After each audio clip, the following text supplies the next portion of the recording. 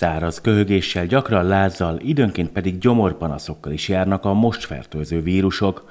Az ősz beálltával a jelenség rendszeres.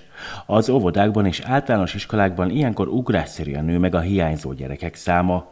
A házi orvos azt mondja, a tünetek észlelésekor a legtöbb esetben elég köptetőt és láscsillapítót bevenni néhány napon keresztül.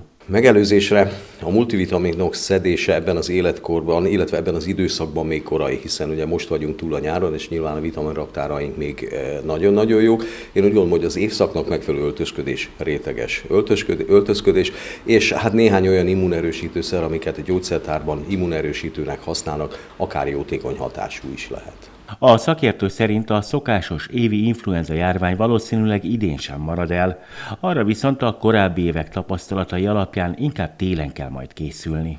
A déli féltekéről az északi féltekére átszálló vándormadarak azok, amik hozzák az influenza vírusokat, és ezen, ezeknek a, a vizsgálat alapján igen, valószínűleg lesz influenza járvány az idén, illetve jövőre is. Az influenza-szerű tünetekkel tehát a legtöbb esetben még házi orvoshoz sem kell menni. Arra elég akkor sort keríteni, ha a beteg lázas is lesz.